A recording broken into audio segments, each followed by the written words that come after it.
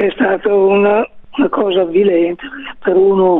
che ha passato la vita a difendere il lavoro e l'ambiente, sentirsi una telefonata del genere è avvilente. Gliel'ho anche detto a quel tale che minacciava, è una cosa inutile, stupida, non serve a niente, il processo è ampiamente avviato, ci sono decine di fascicoli, ci sono decine di migliaia di pagine di indagini, per cui che cosa servirebbe cercare di intimidire? Io non lo sono affatto, cercare di intimidire Balsa, Rossi, il, gli avvocati, i giornalisti, quello che andrebbe fatto, dovrebbero fare i lavoratori, quello